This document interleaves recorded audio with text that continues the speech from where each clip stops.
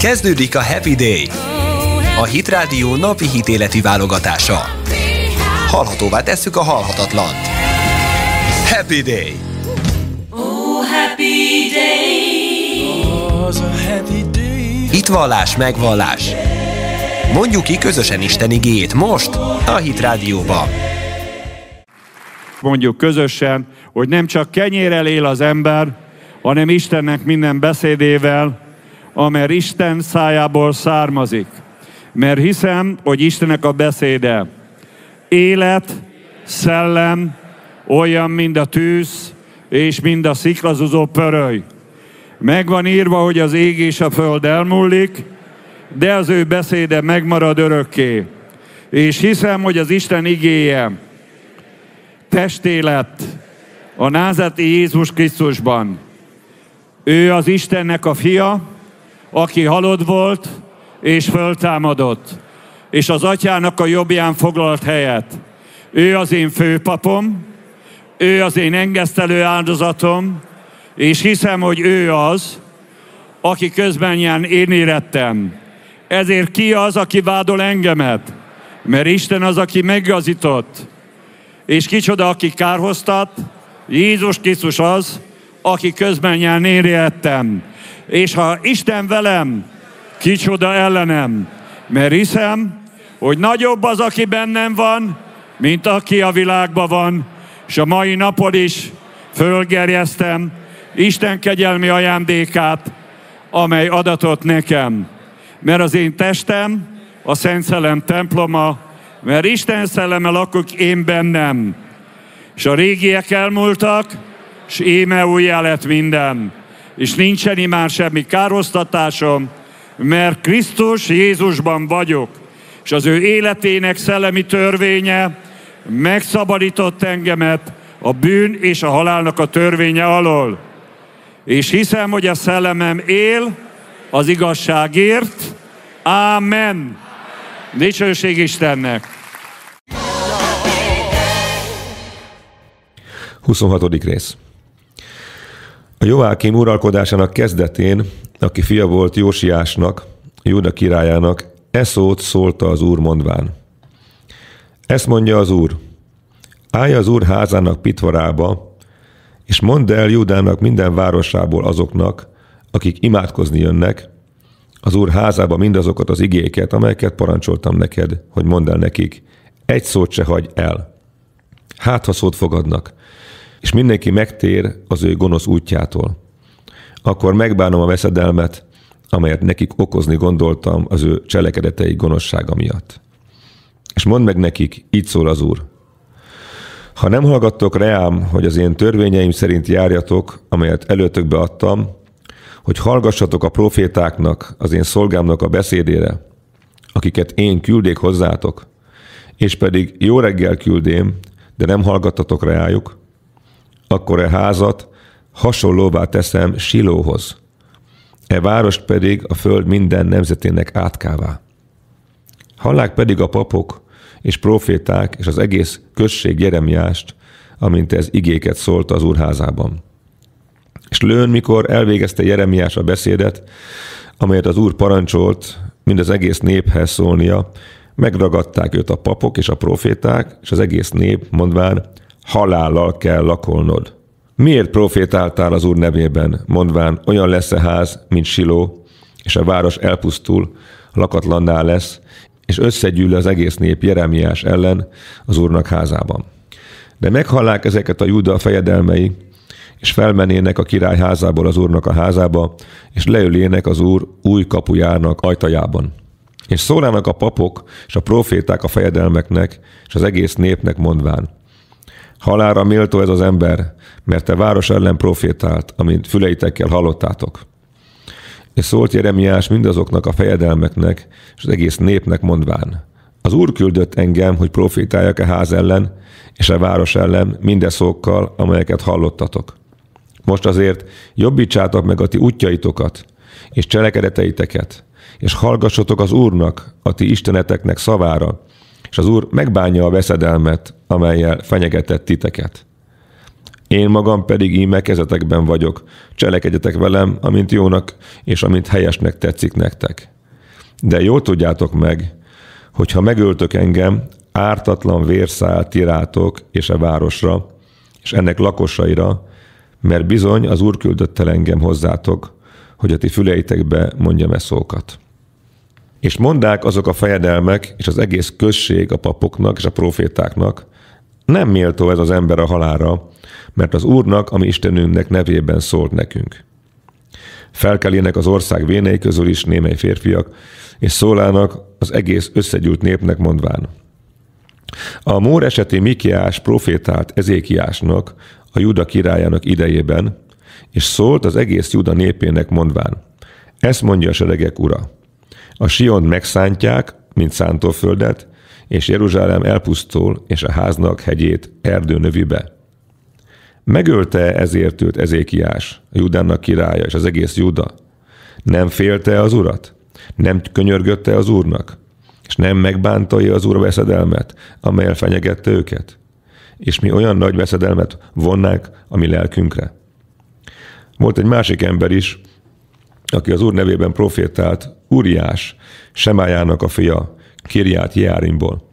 És profétált e város ellen és a föld ellen, egészen a Jeremiás beszéde szerint. És meghallotta Joákim király, és minden vitéze, és minden fejedelme az ő beszédeit, és halára kerestette őt a király. De meghallotta Uriás, és megijedt, és elfutott, és átment Egyiptomba. És Joákim király embereket küldött Egyiptomba, elnátánt az Akbor fiát, és más férfiakat vele együtt Egyiptomba. És kihozták Uriást Egyiptomból, és vitték Joákim király elé, aki megölette őt fegyverrel, holtestét pedig a köznép temetőjébe vetteté. De Ahikámnak, a Sáfán fiának keze Jeremiással volt, hogy ne adják őt a nép kezébe halára. 27. rész. A Joákim uralkodásának kezdetén, aki fia volt Jósiásnak, Júda királyának, ilyen szavakat szólt az úr Jeremiáshoz mondván. Így szól az úr nékem. Csinálj magadnak köteleket és jármot, és vedd azokat a nyakadba. És küld azokat Edom királyához és Moab királyához, az Ammon fiainak királyához, Tirus királyához és Szidon királyához, a követek által, akik eljönnek Jeruzsálembe, Sedékiáshoz, Júdának királyához. És parancsold meg nekik, hogy mondják meg az ő uraiknak, ezt mondja a seregeknek az ura, Izraelnek istene, ezt mondjátok a ti uraitoknak. Én teremtettem a földet, az embert és a barmot, amelyek a föld színén vannak, az én nagy erőmmel és az én kinyújtott karommal, és annak adom azt, aki kedves az én szemeim előtt.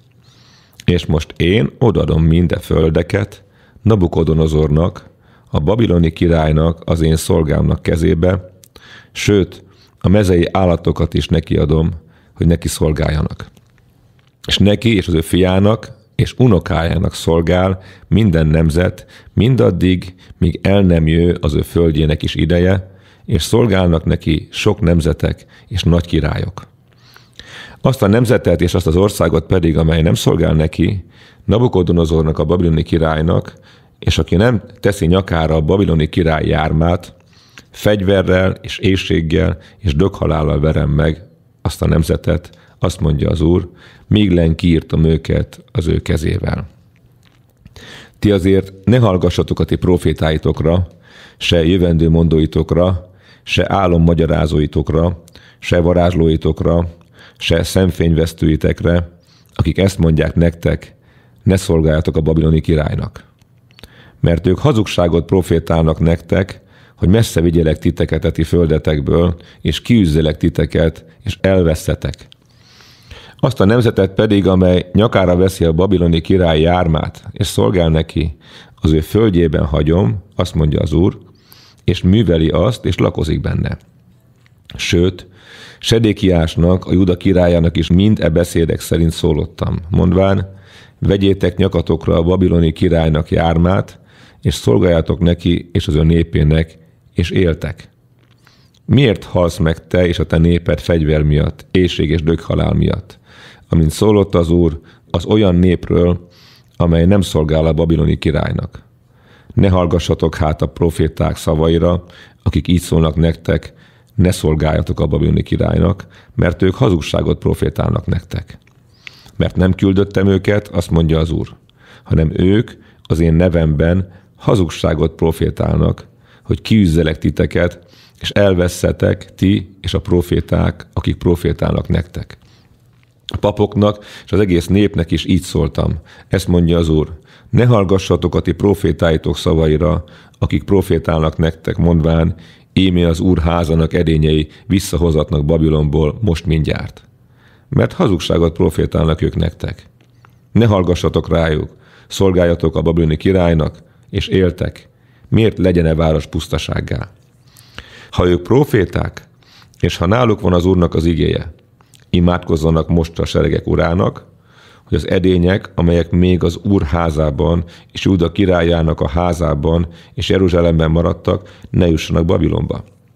Mert ezt mondja a seregek ura, az oszlopok felől, a tenger felől, az állványok felől és az edények maradéka felől, amelyek még e városban maradtak, amelyet el nem vitt Nabukodonozor, babiloni király, mikor fogságba vitte Jekóniást, Joákimnak, a Júda királyának a fiát Jeruzsálemből Babilonba, és Júdának és Jeruzsálemnek minden főnépét, bizony ezt mondja a seregek ura, Izraelnek Istene az edények felől, amelyek megmaradtak az Úrnak a házában, és a Júda királyának házában, és Jeruzsálemben, Babilonba vitetnek, és ott lesznek minden a napig, amelyen meglátogatom őket, azt mondja az Úr, és felhozom azokat, és visszahozom azokat a helyre.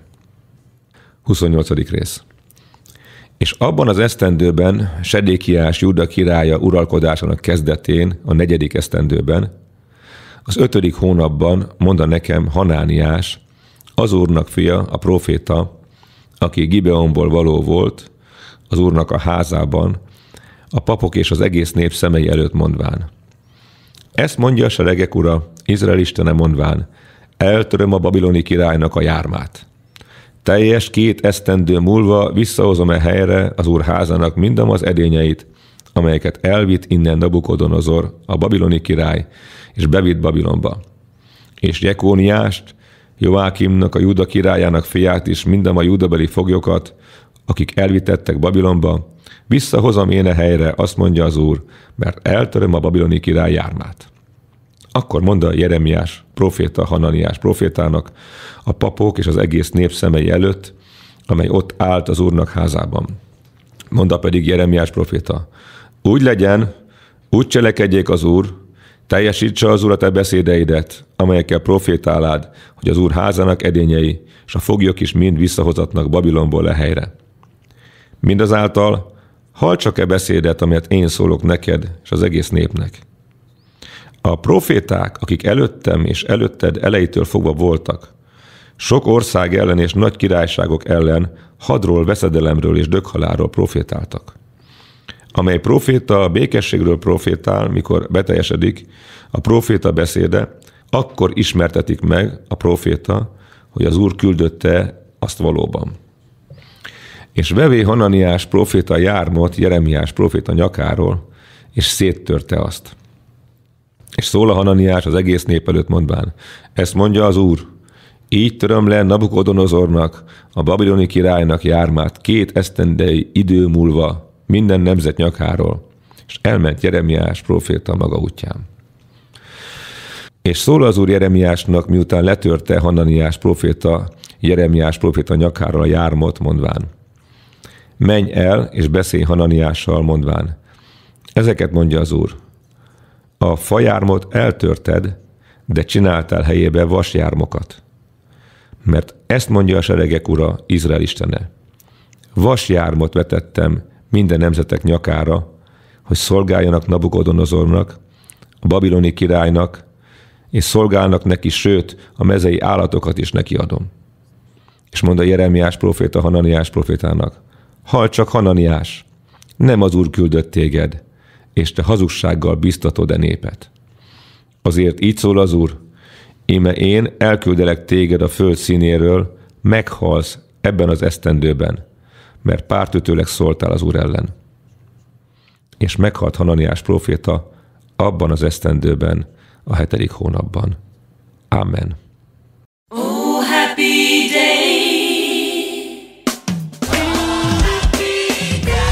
Következik német Sándor napi üzenete. És ezért nagyon fontos figyelembe venni ezt a történetet, mert Pálapostól már jó előre a rómaiakhoz írt levél első fejezetébe utalt arra, illetve kijelentette azt erre a korszakra vonatkozóan, hogy az Isten haragja nyilvánvaló, mert az emberek hazugsággal, igazságtalansággal akadályozzák az igazságnak a térhódítását, a társadalomban való térhódítását. Tehát az, hogy az evangéliumot az emberek hallják, az evangéliumot elfogadják, ezzel szemben a gonosz ellenállást irányít, és olyan elméleteket, ideológiákat, hazugságokat, rágalmakat ont rá az embereknek a gondolkozására, vagyis hogy ne tudjon hinni. De meg kell érteni, hogy a hit az nem magánügy, hanem közügy, mert hit által lehet csak Isten országába kerülni. És nagyon érdekes, hogy amikor temetésre mennek az emberek, addig nem hittek, de akkor mindig azt lehet olvasni, hogy azt mondják az elhunytról, hogy most már az égből néz ránk, a mennyből néz ránk. Tehát az emberekben megvan ez az illúzió, szeretnének a mennybe kerülni. De illúzióval senki nem kerül a mennybe, hanem a pokolba.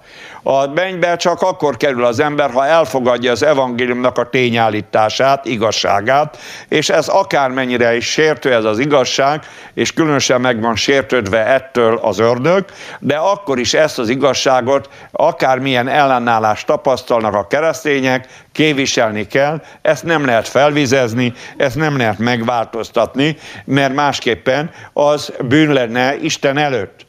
Tehát ellenállásról beszélek, hogy ez gonosz, és ez a gonosz ellenállást az Ószövetség a varázslásnak a bűnének minősíti. Hangos könyv.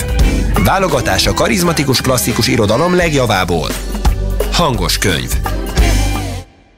Ma a hangos könyv rovatban folytatom Joel Austin Értékes vagy című könyvét. A soron következő fejezet címe a legmegfelelőbb időben megtörténik. Amit Isten eltervezett a számunkra, az sokkal nagyobb, mint amiről valaha is álmodhatunk.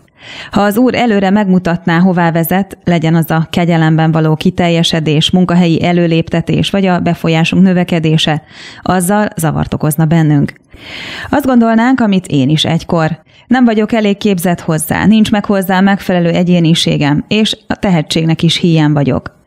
Ez a hozzáállás valamennyire rendjén is van, hiszen nem a tehetségünknek, a személyiségünknek vagy a kemény munkavégzésünknek köszönhetően fog mindez megtörténni, hanem azért, mert Isten áldást parancsolt az életünkre.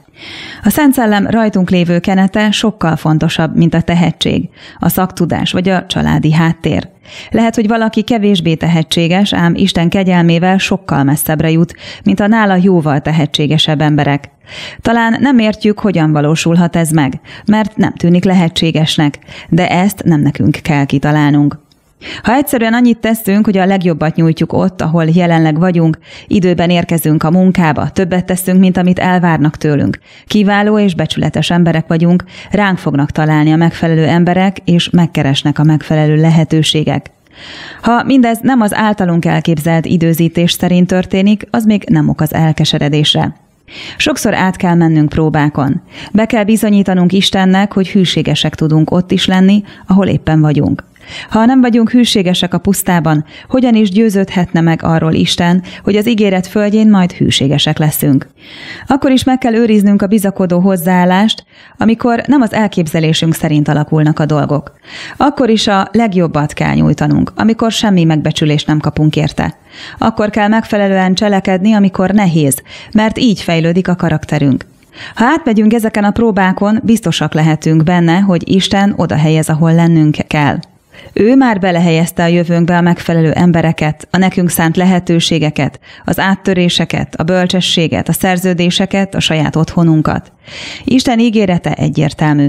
Nem vonja meg a jót azoktól, akik ártatlanul élnek. Az évek során megtanultam, hogy Isten kegyelme egy másodperc töredéke alatt messzebb tud repíteni, mint ameddig egy egész élet munkájával juthatnánk a saját erőnkből. Nem szabad úgy gondolkodni, hogy egyre hátrébb szorulunk. Az álmaink soha nem valósulnak meg, mert ez nem igaz. Isten ugyanis robbanásszerű áldásokat is képes az életünkre küldeni. Olyan áldásokat áraszt ránk, amelyekkel évekkel előbbre jutunk. Ez nagyon jól hangzik, csak hogy én nem igazán vagyok tehetséges semmiben. Se pénzem, se befolyásos kapcsolataim nincsenek, mondhatja erre valaki. Nem baj, Istennél mindezek megvannak. Ő már mindent előkészített, amire csak szükségünk lehet. Ott sorakoznak nála a nevünkkel felcímkézett kedvező lehetőségek, szerződések, épületek, vállalkozások. Ugyanígy felsorakozva állnak a nekünk címzett ötletek, találmányok, könyvek, filmek és dalok. Ahogy Istent dicsőítjük az életünkkel, mégpedig azáltal, hogy a tőlünk telhető legjobb teljesítményt nyújtjuk, mint egy mágnes, úgy vonzuk magunkhoz a személyesen számunkra elkészített áldásokat, isteni javakat. Hogy mikor fog mindez bekövetkezni? Éppen a megfelelő időben. Ha eddig még nem történt meg, elképzelhető, hogy még nem érkezett el a megfelelő idő. Nem szabad átadni magunkat a csüggedésnek, Isten nagyon is jól tudja, mit csinál. Csak maradjunk továbbra is hűségesek a jelenlegi helyünkön, és bizakodva várakozzunk az áldások megérkezésére. Aki így cselekszik, mágnesként vonza magához mindazt, amin az ő neve áll – a gyógyulást, a hozzáillő házastársat, feltéve ha még egyedülálló, a gyermekeket, ha eddig meddő volt. Isten már eldöntötte, hogy ezeket nekünk adja. Ott várakozik a nekünk szánt vállalkozás, a film, ami kasza siker lesz, vagy épp az a találmányunk, amely az egész világra nagy hatást gyakorol majd. Oh, happy day! Állami kormányzati beavatkozással alakítsák át a társadalom alapvető normáit, mert, mert akkor nem lesznek elnyomva a nők. Ez elég egy, egy-két ilyen szünig le szokták dagadni, de ha az ember elolvassa az alapvető dokumentumokat, akkor ez feketén-fehéren le van bennük írva. Elég egyértelműen bizonyítani lehet. Best of Hit Radio. Válogatás spirituális műsorainkból. Best of Hit Radio. Nem tudom, hogy mennyire látod ezt bizonyítottnak, hogy ugye ez a genderelmélet, mint filozófia, vagy ideológia, vagy hát valóban egy elmélet állja csak meg a helyét, vagy, vagy szándékuk, hogy politikai szintérre lépnek. Teljesen egyértelmű, ez napnál világosabb, és ők se. Hát az egész elmélet a 60-as években a radikális baloldali mozgalom és már akkor is az elmélet csinálók egyben aktivisták is voltak.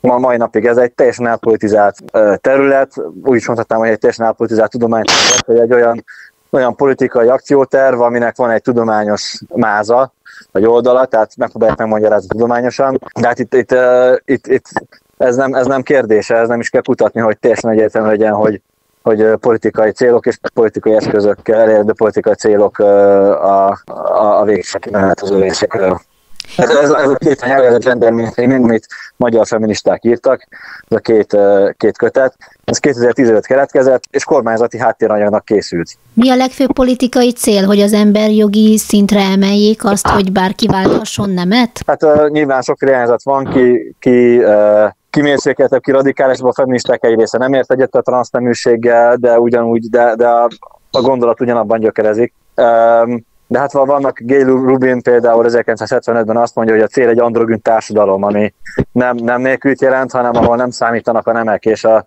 biológiától függetlenül mindenki ö, nemiséget él meg, amilyet csak kigondolt magának, vagy amit, amit érez. És én ezt látom, a, de hát szerintem a, a transzneműségen kívül, meg az emberi jogi követelésekkel, melegházasságon, stb. kívül örökbefogadása a melegpároknak, ugye ami nagyon veszélyes lehet az az, hogy, hogy hát fogalmazunk így a férfiak kiherélése. Tehát a, miközben a hétköznapokban a nők többsége arról panaszkodik, hogy ma már egyre kevesebb a lovagias férfi, vagy nem tudom, hogy probléma van a férfi, a férfi szerepekkel, vagy felelőtlenek, vagy tutyimutyik a férfiak, vagy nem tudom, vagy egy, egy jelentős részük.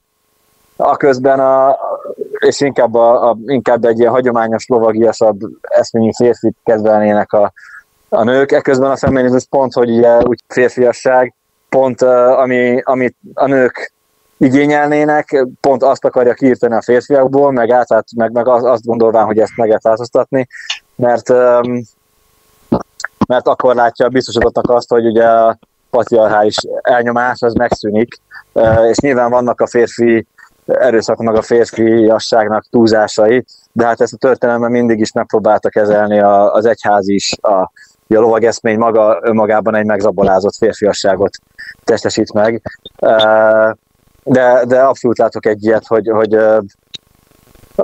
én, én nem vitatom a jó szándékukat, meg hogy ez, meg hogy ez belső indításból fakad, szerintem egy nagy elkeseredettség és, és időként mentes problémák állnak mögötte, de, de az egyértelműen a társadalom dezintegrációhoz vezet, illetve a férfi, férfiak és nők összeveszejtéséhez, akkor is, ha nem akarják. Hát egyetértek, valóban így van, és hát ez, ebben van egy ellentmondás is, mert hiányzik a nőknek a lovagias férfi, az udvarias, aki előre engedi őket, meg kezet csókol, stb. Ugyanakkor nagyon sokszor találkozni olyan tehát megnyilvánulásokkal, hogy kikérik maguknak a nők a kézcsókot, vagy az előreengedést, vagy hogy nőknek hívják őket, mert ezt valami fajta lealacsonyításnak veszik, vagy a gyengességük hangsúlyozásának veszik. Hát emlékeztek rá talán, hogy nemrég egy pár évvel ezelőtt volt olyan, hogy Orbán Viktor találkozott az Angela Merkel, és kezet sokkal talán neki, és aztán egy nagy botrány volt belőle, hogy miért csokor kezet a Angela Merkelnek ezzel a, a nő, női identitását akarta hangsúlyozni, és ez egy ilyen férfi soviniszta megnyilvánulás volt a részéről, hogy mintha nem lennének egyenrangúak, tehát nem két politikus találkozott volna. Tehát ez, egy, ez, ez, ez valóban sok veszekedésre, meg félreértésre ad majd okot, hogy akkor egy férfi is elbizonytalanodik, hogy hogyan tudja a tiszteletét kifejezni a nő felé azzal, hogyha ha nőként bánik vele, vagy hogyha úgy bánik vele, mint hogyha nem lenne nő, hanem férfi. És hát ugye ez, ez egy óriási nagy feszültség, már most is a nyugati társadalmakban, hogy például a megszólítás, tehát hogy van egy új beszél, van egy új nyelvezet, egy barátom, aki kint dolgozik, mindegy, hogy hol, Nyugat-Európában. A lényeg az, hogy egy nagy nemzetközi cégnél dolgozik, és kaptak egy olyan füzetet tavaly karácsony előtt, vagy mondhatnám már majdnem, hogy karácsonyra, tehát úgy lett időzítve, amely arról szól, hogy, hogy tájékoztatják a munkavállalókat, hogy milyen nyelvezetet várnak el mostantól fogva az üzleti levelezésbe és a, a munkai kapcsolatokba, és hát természetesen nem lehet a másiknak az identitását a nemi biológiai adottságok alapján megnevezni, és, és hát ugye zavarba lesznek majd az emberek, hogy akkor hogy hívják a másikat, nem tudja, hogy megsérti-e hogyha nőként kezeli, vagy, vagy, vagy éppen azt igényli. Tehát ez egy annyira kaotikus helyzet, amely most kialakul a, a gender kapcsán elvárt politikai korrektség 2.0, illetve, illetve az új beszélnek egy, egy újabb módozata kapcsán, ami csak még inkább a sértődést, az érzékenységet az emberekben hát erősíteni fogja, és hát ettől nem szabadabban fognak magukkal vagy egymással kommunikálni az emberek, hanem még több szorongás lesz, hogy nehogy véletlenül a másikat megbántsa. És hát ugye ez meg aztán egy, megint egy abszurd helyzet, amikor például valaki férfi létére elvárja a munkatársaitól, hogy őt nőnek szólítsák, mert ő nő. Úgy kezeljék, és úgy is szóljanak, vagy úgy is beszéljenek hozzá, és, és valaki erre esetleg nem hajlandó, mert hát most én belegondolok abba, hogy én egy munkahelyen dolgoznék, és bejelenteni egy kollégám, hogy mostantól fogva, hogy a magyar nyelvi nem tesz különbséget, de de hát nőként kell őt megszólítanom, vagy kisasszonynak kell szólítani, vagy asszonyomnak kell szólítani, hát azért ez nem tudom.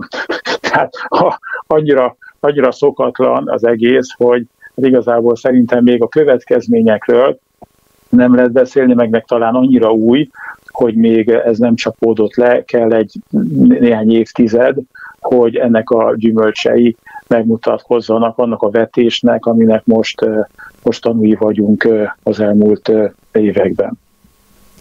Amiről Géza is beszél itt a nemek, meg a megszólításoknak a megváltoztatása, tehát így nyelvi szinten ez azért fontos, Gergely, mert hogy úgy gondolják, hogy ahogy beszélünk erről, úgy gondolkodunk, és ezáltal a gondolkodást szeretnék megváltoztatni? Hát igen, egyrészt van ez a, a posztmodernnek van egy ilyen mániája, hogy, hogy, hogy a valóság nem megismerhető, vagy nem létezik, és azt a, a nyelv vagy torzítja, vagy azt hozza létre, ugye, mert hogy egy egyszerű példával élve, ugye itt Magyarországon a hóra egy szavunk van, az eszkimoknak meg tizen valamennyi, és hogy ez más kategóriákat hoz létre az agyukban. De hát ez egy, ez egy rossz érv, mert, hogy ez a, mert a nyelv nem determinál minket, és magunk is alakítjuk, és azt nevezzük néven, ami, amire szót akarunk találni. Más kérdés, hogy ez visszahat, vagy hogy nyilván hát gond, alakítja a nyelv a gondolkodásunkat, de mi is alakítjuk a nyelvünket, és ezt a feministák kevésbé szeretik elismerni, miközben a legnagyobb nyelvalakítók ők, és nem is csak a gondolkodásukat akarják alakítani, hanem, és most nem is a feministákra gondolok itt, bár ők is, hanem az egész LMBTQ mozgalom, hanem a, az egész, hát most a, például a női, női vaginára ugye kitalálták azt a kifejezést, hogy front hol erőső lyuk azért, hogy a magukat átműtő transzok is ebbe a kategóriába tartozhatnak érezzék magukat, mert hogy nyilvánvalóan egyértelmű anatómiailag a kettő nem ugyanaz. Um, ez, ez, ez, a, ez a politikai korrektségnek a ne továbbja, amikor találnak egy más szót azért, hogy abba gondolkodjunk, mert így az befogadóbb. Igen, és hát akkor az elnevezéseknél még az is közrejátszott, amit említettél a postmodernnél, hogy ugye kitaláltak különböző kifejezéseket, most nem is tudom, hogy hány fajta nem létezik, 72, vagy lehet, hogy már, hogy már, hogy már annál is több, és ugye eddig azok, akik, akik valami fajta identitászavart éreztek, a nem identitásuk kapcsán, azok most nagyobb biztonságban érezhetik magukat, mert eddig arra, amik, amikkel ő azonosolni tudtak, addig annak, eddig annak nem volt neve. Most viszont mondjuk már van neve és akkor most már tudom Abszolút. azt mondani, hogy én az vagyok, és ettől, ettől egy nagyobb megnyugvást élek át, mert mintha eddig nem léteztem volna, de most a szavak engem létrehoztak, most már létezek, most már, most már meg tudom magamat határozni. De ettől a valóság Igen. nem változik meg. Tehát, hogy szavakat vagy címkéket ragasztok rá, most egy, egy persze nagyon buta hasonlat, de most egy, egy, egy, egy konyha szekrényre ráragasztok egy olyan címkét, hogy ez, ez, a, ez, a, ez az ágy, ettől természetesen az nem lesz az, de hát ezzel a kísérlettel el lehet játszani, csak hogy igen, az a nagy kérdés az, hogy, hogy hová fog mindez vezetni. Már ugye többször említettétek a feminizmus szót, és a könyvben is azért úgy láttam, hogy szét van ez szálazva valamennyire, tehát hogy a feminizmus, mint egy nagy eszme vagy mozgalom, azért több részre szakad, több hullámról beszél Gergely is. Itt azt el lehet mondani, hogy ez a gender ideológia igazából szőröstül, bőröstül felfalta a feminizmust, mert azért a feminizmusnak volt egy régi, klasszikus olyan ága, amivel még akár egy keresztény nő is tudott volna azonosulni. Hát, ami olyan ága szerintem nem volt. Uh, annak egy-két, nyilván a feminizmus egy-két céljával uh, gond nélkül tud egy keresztény és konzervatív ember is, uh, de hát a gender elméletet a feminizmus hozta létre. Tehát azt mondani, hogy a gender felfalta a feminizmust, ez uh, maximum olyan értelemben igaz, ugye, hogy a forradalom felfalja a gyermekeit, ahogy a könyvben is írom. De hát ez, ez, ezt, a, ezt a második hullámú, tehát a kortárs feminizmus egyik alapító anyja, Simone de Beauvoir találta ki, hogy az ő, ő második nem című könyve az, ami a gender elméletnek ugyanúgy az egyik alap, alap alapirodalma, Bibliája. Bibliája, igen, igen, egy kicsit. Tehát én, én nem választanám el így, hát akkor saját magukat falták fel, vagy, vagy nem tudom. Hát a, egyes, a transzmozgalom például a feminizmus ellen fordította a, a, a feminizmus saját felfogását, de hát ezek már ilyen belharcok. Igen, itt arra gondoltam főképp, hogy ugye most már a női jogok azok úgy vannak hangsúlyozva, hogy igazából nincsenek úgy női jogok. Most ha arra gondolunk, hogy férfi, transzférfiak is versenyezhetnek például nőkkel együtt, amit láttunk ugye nyugaton, tehát az ott, ott már nincsenek női jogok. Itt transzjogok vannak, aminek a nők is a vesztesei. Így van, hát ugye ez annak a következménye, hogy, hogy hogyha azt mondjuk, hogy a, persze a női jogot ki akarjuk terjeszteni, vagy lehetőséget akarunk adni a nőknek, sok mindenre az általában rendben van, de hogy a, a, itt ne, nem, a, nem a jogok a fő kérdés, hanem hogy hogy tározzuk meg a nőt, vagy a férfit ugye másik oldalon, vagy a heteroszexuális, vagy a nem heteroszexuális, stb. És és az történt, hogy azt mondták, hogy, hogy a nő nem attól nő, hogy van egy biológiája, meg nem is a nemi szerepektől, meg nem is nem tudom mitől, hanem az a nő, aki annak érzi magát, és annak mondja magát, és pont és semmiféle, semmiféle külső korlát ebben nem, ebben nem jelenhet meg, mert akkor az elnyomás. És ettől kezdve uh, ugyan ő, ha, ha, ha, ha, egy, ha egy kifejezés bármit jelent, akkor nem jelent semmit. Ezt csinálják a családban is például, um, és akkor így, így uh, ezzel. Egyébként ugye a másik furcsa dolog az, hogy a, megnyitották a börtönöket Amerikában a, a, a börtönök részlegét a magukat nőnek képzelő férfiak előtt, és hát már, már fejebb ugrott a börtönben elkövetett erőszakosága, nem csak azt fog elmenni, aki magát valóban nőnek érzi, egyébként még az is gyakrabban követel erőszakot, hanem hát kapva kapnak az alkalmon a, a börtöntöltelékek, akik nem egy szép lelkű emberek, tehát hogy,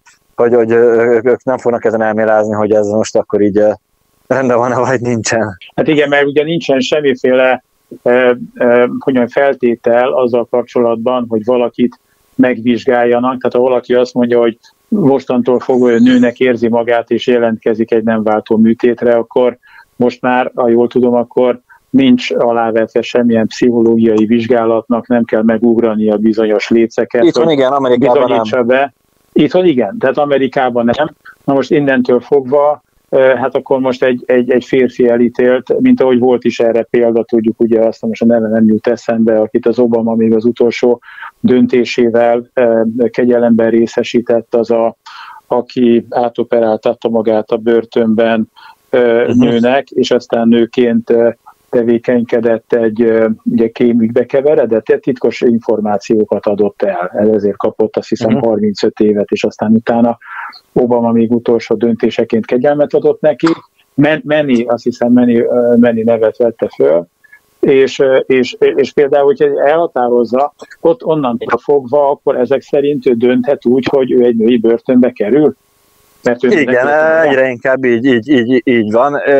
Sőt, ugye, hát a fiatal, a, a, nem is fiataloknál, hanem a gyerekeknél bátorítva vannak a, meg a kamaszoknál is a magukat nőnek érző kisfiúk és, és kamasz fiúk, hogy a másik költözőbe menjenek be, és rengeteg ilyen guideline, ilyen útmutató van Amerikában, ami azt mondja, hogy a kislányoknak el kell magyarázni, hogy miért van ott a másik, tehát hogy, hogy nem, nem, nem a kislány a hibás, hogyha ő, vagy a, vagy a kamaszlány, hogyha ő azt gondolja, hogy ez így nincs rendben, hogy egy fiú öltözködik ott vele, illetve nem a, nem a trans, nem a, nem, nem, a más, nem a fiú a hibás, hanem a kislány a hibás, amiért azt gondolja, hogy, hogy problémás az, hogy ott öltözködik vele egy fiú. És tehát az, az, az egész világot így a, tehát ez a mindenségnek a fejeteteire állítása. Oldalon nézve abszolút a, beleillik a, a, az Isten törvénye és Isten igéje, vagy a, vagy a zsidó-keresztény kinyilatkoztatás elleni nagy lázadásba, vagy annak egy utolsó, vagy utolsó előtti, de mindenféleképpen egy fontos állomásának, és ugye hát itt alapvetően az is ebben megjelenik, hogy elvitatják a teremtőtől, hogy a teremtmények számadással tartoznak az alkotójuknak, és egyébként ezért is kapcsolódik erősen a feminizmus, és az egész mozgalom az abortuszhoz is, mert ugye úgy határozzák meg az abortusz mögött is, az van, hogy az a nőnek a teste, és a nőnek van joga hozzá, és ezért egészen extrém esetben még ahhoz is joga van, hogy a terhesség utolsó fázisában is dönthet arról, hogy elveteti a gyermeket, mert hogy az az ő teste és az az ővé. De ezzel szemben ugye bibliai értékrend szerint az ember az nem, hát nem az, hogy nem önmagát teremtette, ez magától értetődő, nem a saját tulajdona, hanem Istennek a tulajdona, és Istennek tartozik az ember számadása, és ezért van szó a Bibliában ítéletről, meg, meg, meg halottak feltámadása, ugye lelkészként most ezt a, ezt a vonalat, hogy ha, hagyj emeljen bele a beszélgetésbe, és, és, és több helyen is egyértelművé teszi, a Biblia, hogy a tulajdonjogot Isten nem ruházta át az ember számára, használati jogunk van, saját magunkhoz is, de a tulajdonjog az továbbra is Istené, és ilyen ö, értelemben az embernek még ahhoz sincsen joga, hogy a saját testével kényekedve szerint bánjon, ezért például az öngyilkosság is nagyon súlyos bűn, a Bibliában, de hát így kellene megközelíteni az embereknek a saját testüket is, hogy ezt nem csonkíthatják meg. Hát azt, azt nem ők alkották, nem ők teremtették, semmit nem tettek érte, azt úgy kapták ajándékba. Tehát ez, ez és, és ráadásul régen a jog, én nem vagyok ebben szakember, de azért emlékeim szerint például volt olyan, igaz, hogy, hogy, hogy, talán, hogy talán nem a polgári jog, de még lehet, hogy az is, de ugye például a katonai törvények az öncsonkítást azt a súlyos bűnnek tartották, mert, mert hogy az embernek vannak bizonyos kötelezettségei a társadalom felé, és ezért például az államjogot formálhat kritikus helyzetek, mondjuk háború esetén egy, egy ember testére, és igénybe veheti azt, és akkor a háborúba azt felhasználhatja, és ezért ugye például sorköteles ember megcsonkította úgy a testét, hogy alkalmatlanná vált a hadviselésre, akkor azért elég súlyos büntetéseket, több év börtönbüntetést kiszabhattak rá. Tehát én nagyon nem lennék azoknak az embereknek a helyébe, akik a saját testükkel, kényük, kedvük szerint bánnak, de azoknak az orvosoknak a helyébe se lennék, akik ezekhez asszisztálnak, mert egyszerűen az emberi test az összes gyengeségével együtt egy remek mű, mind a férfi test, mind pedig a, mind pedig a női test, és, és hát, hogy kicsit az ember a biológiával foglalkozik, vagy betekint, akkor, akkor, akkor elcsodálkozik azon, hogy mennyire összetett és, és, és mennyire mennyire átgondoltan kitalált az emberi testnek a működése, és az ember nem jogosult arra, hogy azt csinálja vele, amit akar, például, hogy megváltoztassa a saját nemét. Tehát ez egy olyan annyira nagyon durva beavatkozás az emberi testbe, ami, ami, ami, ami hát nem, nem, nem, nem hiszem, hogy következmények nélkül marad. És hát ahogy már elhangzott, ugye nem is nagyon lehet. Tehát tudunk egyáltalán olyan példát, Gergely, amikor ez sikerült bárkinek, hogy teljesen mondjuk egy nőből férfi legyen, vagy fordítva. Tehát nem lehet, tehát hogy, hogy, hogy ez fizikai lehetetlenség, mert minden sejtünk, vagy férfi, vagy női sejt. Tehát, tehát hogy minden elméletben, mind gyakorlatban lehetetlen, hogy legyen erre sikeres példa. Olyat tudunk, hogy hogy a felszínes átműtés az, az a meg van elégedve az illető, és, és a boldogan él, de azt is ilyen 5-10 éves a maga az egész folyamat. És jó, drága, veszélyes, fájdalmas, rengeteg mentális probléma lép fel közben. Vannak, akik a végén elégedettek lesznek, sokan meg megbánják, és, és nagyon sokak meg nem bánják meg, de a mentális problémák nem tűnnek el ezzel, tehát kiderül, hogy nem a műtét hogy a műtét nem mondja meg. De, de a teljes mértékben átműteni egyik nemben a másikba az egyszerűen lehetetlen, mert az minden sejtünket ki kéne cserélni, a csontunkat is ki kéne cserélni, és a is ki kéne cserélni. Amikor amerikai, illetve én angliai példák jönnek elénk, akkor nagyon sokszor hajlamos az ember arra gondolni, hogy jó, hát ez jó távol van tőlünk, itt Magyarországon egyelőre nem hallunk ilyesmiről, úgyhogy megnyugodhatunk. De hadd kérdezzem meg, hogy például az Európai Unió, aminek mi is tagja vagyunk, hogy áll ehhez a gender kérdéshez? Hát nagyjából úgy, mint az USA, egy picit, picit mérsékeltebben, itt nincs akkora felhajtás a transzneműek körül még, az Európai Unióba se, de hát nemrég fogadta hogy az LMBTQ stratégiáját az Európai Unió, amiben nagyon szépen általánosan megfogalmazva van szó egyenlőségről és diszkriminációmentességről, de hát tudjuk, hogy ez gyakorlatban mit jelent. Úgyhogy, illetve hát a dokumentumoknak a választott nem szerinti kiállítását azt az EU is szeretné preferálni. Ezek ugye mind ezek mind tagállami hatáskörök, amiket nem tudnak EU-s hatáskörbe venni direkte, de hát nyilván arra megvannak a, a soft law, meg a, a puha diplomácia és a puha jog eszközei arra, hogy nyomást gyakoroljanak a tagállamokra, és elszigeteljék azokat, akik nem felelnek meg a új elképzeléseknek. Ha még egy picit beljebb jövünk, és itt Magyarországon kezdünk vizsgálódni, akkor itt mi a helyzet politikai szinten? Tehát, hogyha valaki mondjuk olyan ember kerülne hatalomba, aki viszont a gender lobbinak, meleg lobbinak, gender ideológiának kedvezni szeretne, és olyan törvényeket fogadtatna el, ugye ez mindig egy olyan plusz jog, amit aztán utána marha nehéz visszafordítani és visszacsinálni. Van ilyen szándék Magyarországon? Tehát vannak olyan politikai erők, akik ezt megtennék? Hát szerintem az egész ellenzék, ez, ez teljes, elég egyértelmű az az iránti igényük. Azt is tudjuk, hogy a különböző magyar LMBTQ szervezeteknek vannak iskolai foglalkozásra készült tananyagai, meg, meg, meg egyáltalán anyagai. Tehát, hogyha ezt be kéne vezetni iskolába, akkor körülbelül egy napba telne, mire, mire a, a, a kész a, kék, mi a kész tanterveket egyszerűen be kell vezetni. Tehát, hogy, hogy, hogy mindenre fel vannak készülve.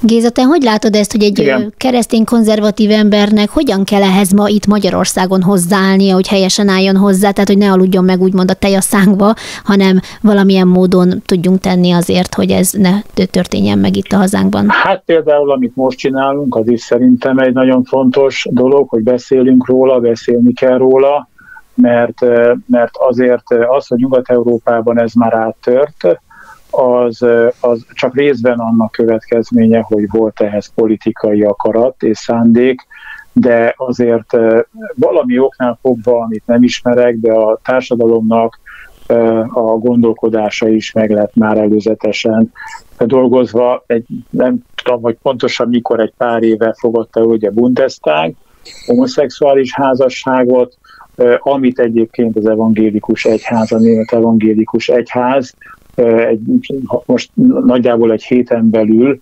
üdvözölt, ami ugye hát egy keresztény ember számára elég meglepő, de nyilván nem akarják most már elveszíteni a népszerűségüket, bizonyos, bizonyos nem általánosítanék minden evangélikus egyházra, de a, a német evangélikus egyház ezt üdvözölte, és akkor elhangzott talán egy felmérési adat, miszerint a német lakosságnak a többsége, nem döntő többsége, talán megint nem emlékszem pontosan számokra, nem készültem ebből, de közel 60 százaléka, de lehet, hogy egy kicsit annál több is támogatja a melegházasságot. Hát ugye a politikusok azok figyelik az embereknek a, a, a szándékait, készülnek a választásokra, próbálnak szavazatokat szerezni, tehát ez egy olyan, olyan folyamat, ami kölcsönhatásban van egymással, tehát a politikának van hatása nyilvánvalóan az emberek gondolkodására, de ez, ez a másik oldalról is igaz. Magyarországon nem hinném, hogy ilyen rossz a helyzet, hanem valószínűleg itt nagyobb az ellenállás a melegjogokkal szemben is, de ugyanakkor azt is lehet tudni, hogy azért döntően azok a konzervatív nézetet vallók, akik az idősebb korosztályhoz tartoznak, vagy a felnőtt lakosságnak a nagy százaléka, nagy része, és a fiatalok többen vannak, tehát nagyobb százalékban támogatják a melegjogokat, és ezzel együtt feltehetően, már így talán ez még nem került kérdésként a terítékre a genderjogokat is, tehát, és mivel a fiatalokból lesz a következő generáció, ezért, ezért én nagyon fontosnak tartom azt, hogy a fiatalok felé nagyon szofisztikáltan, elfogadhatóan, nem dogmatikusan, hanem és érthetően és vonzóan legyenek a, a zsidó-keresztény kinyilatkoztatásnak a, a, az állítása, igazsága, illetve konzervatív értékek megjelenítve, mert ha ez nem sikerül, akkor a következő generáció tártkarokkal fogja ezeket a újnak nevezett felfogásokat fogadni, és én azért is bátorkodtam belevinni ezt a gnoszticizmus elemet, hogy azért lássuk azt, hogy itt semmiféle új dologról nincsen szó. Tehát ez, ez nem új, hanem más, meg van változtatva, egy kicsit az, a, a, a, a új beszélnyelvre, a modern kommunikációnak a, a elemeihez igazítva, de valójában ez már egy, ez már egy régi történet, tehát a szexuális lázadás az nem, a, nem, nem is a felvilágosodással kezdődött, nem is a bitkorszakkal, hanem, hanem ennek meg vannak már az ősi régi tradíciói, meg vannak azok a, azok a tipikus és, és ezeket, ezeket megjelenítő történelmi, bibliai történelmi tradíciói, eseményei, gondolok itt Szodoma, Gomorára, amire persze tudom, hogy a, a, a meleg jogokért hart, küzdő embertársainak a haja égnek áll, de hát ezek, ezek, ezek régi történetek tehát. De hogyha visszamennénk, a Noé kor előtt is jellemző volt egyfajta szexuális lázadás, tehát ez nem új. A fiataloknak ez azért vonzó, mert úgy lehet eladni, hogy ez valami új, modern, és, és, és szembe az óval, kihasználva a generációk közötti ellentéteket, ezt egyfajta ilyen ideaként az emberek elé lehet tárni, de ha őket kellene szerintem megnyerni a hagyományos konzervatív bibliai értékrendnek, mert akkor lesz biztosítva az, hogy például a hazánkban nem történik ezen a területen egy fordulat, mert akkor nem fognak olyan politikai szereplők teret kapni, vagy hogyha teret kapnának, akkor is egy olyan társadalmi ellenállással találkoznak, amivel nem fogják tudni keresztül vinni a szándékaikat. Gergely, végezetül azt hadd kérdezzem meg, hogy itt Magyarországon, hazánkban te mit gondolsz, mi az a, a terület, amire leginkább oda kell figyelni a konzervatív embereknek, tehát mi az a cél, amit most kitűztek maguk elé mondjuk a gender elméletnek, vagy ideológiának az aktivistái, hogy nyilván ez egy konzervatív, viszonylag konzervatív társadalom, de mi az, amit még így létszalatt át hát lehet itt vinni?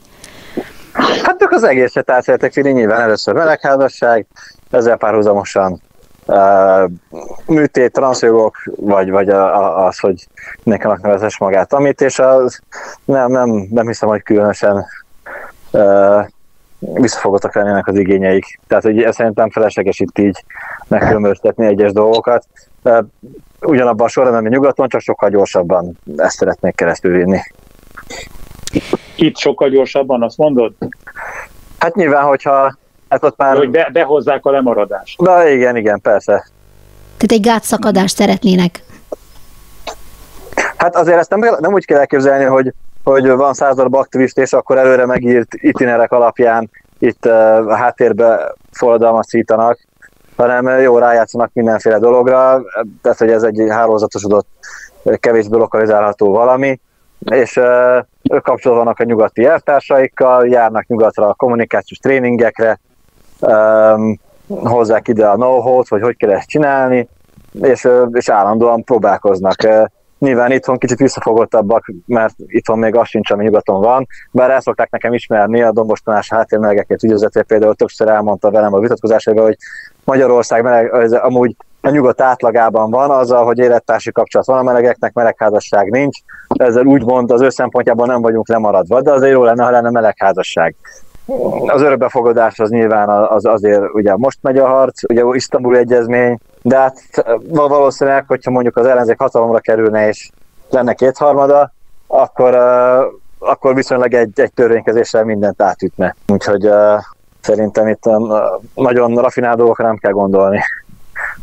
Nagyon köszönöm, hogy a vendégeim voltatok ebben a témában. A gender ideológiai filozófia háttere szétválasztható a test és a lélek, de sok minden másról is szó volt ebben az órában, úgyhogy akik lemaradtak róla, azoknak javaslom az ismétlést 18 órától, illetve a YouTube csatornánkat lehet böngészni, mert valószínűleg ott is kint lesz előbb-utóbb ez az anyag is. Szilvai Gergely Mandiner főmunkatársa, a genderelmélet kritika könyvírója, és Tóth Géza a hídgyülekezete lelkésze, a Szent Pál Akadémia tanára voltak a vendégeim. Köszönöm szépen, hogy részt vettetek ebben a beszélgetésben. Köszönjük a meghívást. Köszönjük szépen is.